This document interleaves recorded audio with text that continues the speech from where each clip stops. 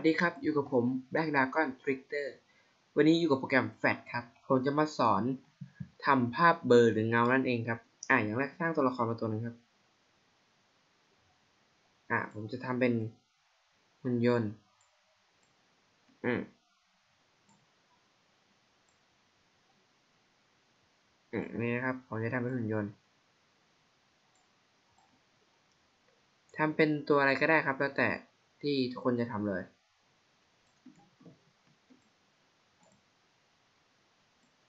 อ่าผมจะทำเป็นอย่างนี้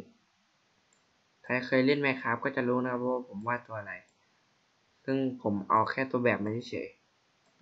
ๆอ๋อวาดไม่ค่อยสวยขออภัยด้วยนะครับ อะเดี๋ยววาดลงมาเลย อะเพราะว่าพอวาดตัวละครเสร็จนะครับ ลงสีก็ลงสีเลยนะครับ อะลงสี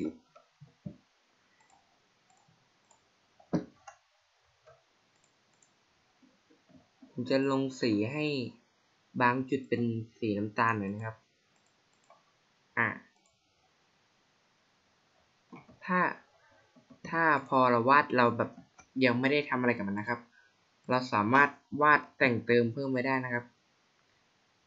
ตอนนี้เราต้องตกแต่งให้ตัวละครเสร็จก่อนครับ ถึงจะไปทำภาพเบอร์ได้ อะ อะทำตัวละครให้เสร็จก่อนครับ อ่าทำตัวละครให้เสร็จก่อนนะครับ อ่า ผมใช้ตัวละครเป็นตาสีแดง นี่ครับ พอสร้างเสร็จแล้วครับ ให้ล็อกไปเลยครับ new ใหม่ครับ อ่าอ่า สมมุติว่า การที่เราจะทำเงาครับ เราต้องสมมุติว่าตรงไหนเป็นพระอาทิตย์ครับ สมมุติว่า ผมเอาตัวนี้เป็นพระอาทิตย์ที่พระอาทิตย์จะส่องแสงมา ซึ่งถ้าพระอาทิตย์ส่องแสงมาก็จะโดนมาแนวนี้ใช่ไหมครับ แนวนี้ อ่า แนวนี้ ซึ่งงานเราก็ต้องทำเงาข้างหลังตรงนี้ครับ แล้วก็เงาตกกระทบตรงนี้ครับ อะงั้นเราลองมาทำกันเลย อะอย่างแรกเราสร้างเป็นพาทิตย์ก็ได้ครับอะสร้างพาระพระอาทิตย์ลงมา เราจะได้รู้ว่าเงาออกไปยังไงอะใส่สีเลยครับ แล้วแต่ว่าใครจะใส่สีหรือยังไม่ใส่สี นี่นะครับ ให้ล็อก layer ไว้นะครับ อะตอนนี้เราคือเพราะว่าผมวาดพระอาทิตย์ไป ให้ล็อก layer ไว้ได้ครับ new new layer ครับอะตอนนี้ครับเราจะมาเริ่มทำเงานะครับอะซึ่งถ้าแสงมาตรงนี้ก็โดนตรงนี้นะครับผมก็จะวาดล่างเลยเงาจะโดนตรงนี้อะวาดไปแล้วครับนี่เงาเงาจะโดนตรงนี้อะช่วงนี้ก็จะโดนนิดหน่อยอะแล้วก็ทำไปครับ ถ้าเราไม่เห็นเพราะว่าเราใช้เป็นโฟกัสสีดำครับ ให้นี่ครับมีรูปดวงตานี้ครับและเป็นจุดครับ ให้เรากดปิดได้เลยครับ อะก็จะรู้ว่ามันชิดกันหรือยังเมื่อทำได้ครับ เราจะทำเงา อะเงา อ่า ซึ่งอันนี้เราจะให้อยู่หลัง layer นะครับ อะเพราะว่าเราจะขออภัยนะครับ โทษทีโทษทีต้องเอานี้ไว้ข้างหน้านะครับ ข้างหน้า layer ไอ้ข้างหน้าตัวละครนะครับอะเอาอันที่เราวาดเงาครับไว้ข้างหน้าตัวละครอะพอได้อย่างนี้แล้วนะครับ ให้ลงสีครับ ให้ลงสีเป็นสีดำเลยอะถ้านี้ลงไม่ได้ครับ แสดงว่ามันติดกับเท้านะครับ เราก็ต้องลงให้เท่ากันครับ อืมให้มันชิดทั้งทุกที่ครับ อะพอลงได้แล้วนะครับ ให้กดตัว V ครับ แล้วครอบทั้งหมดเลยนะครับ ครอบทั้งหมดที่เราทำมา กด F8 ครับ อะ ให้ตั้งเป็น movie clip นะครับ แล้วก็กดโอเค ซึ่งตอนนี้ครับ จะเห็นไหมครับ จะเป็นเงาออกมาแล้ว ซึ่งนี่ครับ จะมีแถบฝั่งนี้ออกมานะครับ ให้ตั้งเป็นอันนี้ครับ นี่นะครับ ปึ๊บ แล้วก็ลาก บูครับ ลงมาให้ถึงร้อยสองร้อยห้าสิบห้าครับกีนครับสองร้อยห้าสิบห้าครับเลดครับสองร้อยห้าสิบห้าอะพอปรับอย่างนี้ได้นะครับ ให้เราปรับความจากความใสของอะไรของเงาครับอะอย่างนี้ก็แค่นี้ก็ได้ครับอะผมเอาสักประมาณนี้ และสมมติผมอยากให้มันเบลอกว่านี้ ให้คล้ายๆเงาหน่อย มาที่ตรงนี้ครับ add filter นะครับ อะ นี่ครับเบลอปุ๊บเราก็ทำได้เลยว่าจะให้เบออะเบลอเบลอหน่อยตรงนี้อะเบลอเบลอหน่อย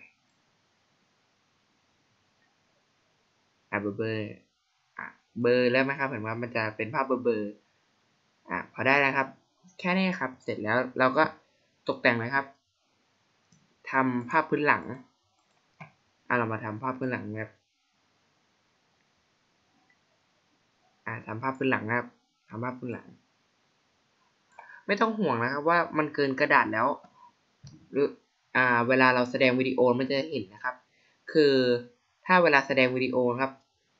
ก็จะแสดงในแค่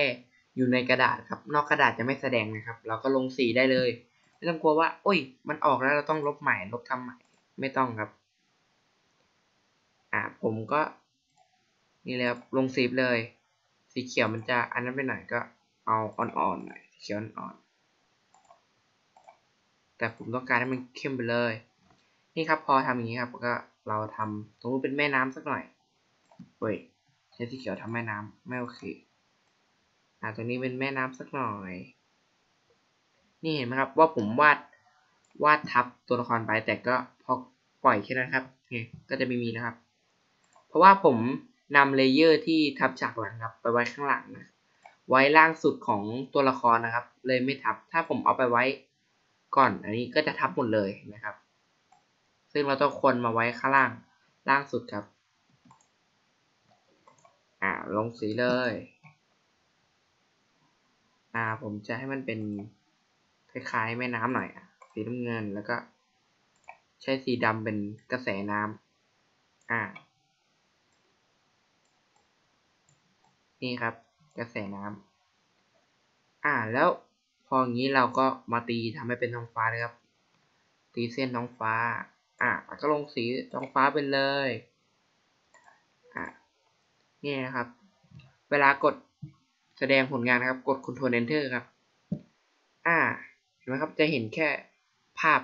ข้างหลังเห็นไหมครับ แค่ในกระดาษจะไม่เห็นจุดอื่นนะครับ ครับ มีเงาแล้วมี